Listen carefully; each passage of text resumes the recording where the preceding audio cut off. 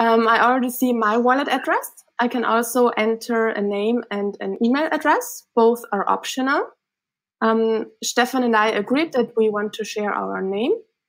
That's why I'm typing in my name, Daniela, and also my email address so that I will get a notification of the transaction.